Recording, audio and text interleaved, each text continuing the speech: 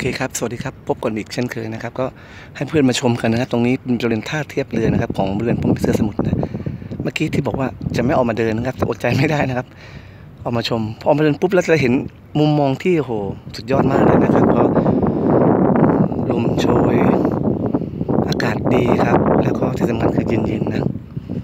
นี่เราเห็นชัดเจนเลยนไหมครับหอคอยในจังหวัดสมุทรปราการเนี่ยนะคาดว่านะปีหน้าคงได้ขึ้นไปชมกันนะครับ ก็มีเรือนะครับวิ่งเข้าวิ่งออกนะโอ้โหวันนี้เห็นป่าชายเลนตรงนี้เลยใช่ไหมครับงดงามมากนะ ก็อดใจไม่ได้นะครับเลยต้องเอามาอัดคลิปเอามาให้เพื่อนชมกันด้วยนะ ถ้ามาตรงปุ๊บว่าถ้าเจอท่านี้เดินออกมาเลยนะครับ เดินออกมาอย่ารีรอนะครับเนี่ยจะเป็นสภาพแบบนี้เป็นภาพที่เห็นแล้วโอ้โหสวยจริงๆนะครับให้เพื่อนชมนะนะครับ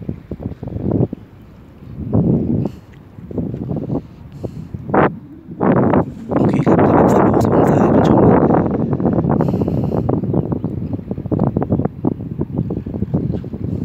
ต อนนี้ประมาณเกือบสี่โมงเย็นแล้วล่ะครับ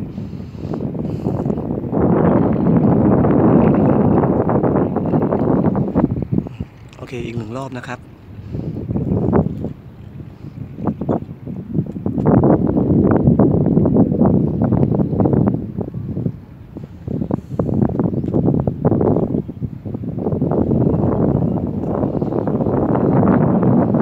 โอเคครับท่านผู้ชมนะครับก็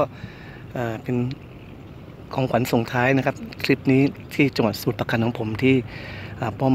ปีเสือสมุทรนะครับ ขอบคุณมากครับที่ติดตามรับชมบอชนของผมนะครับขอบคุณครับสวัสดีครับ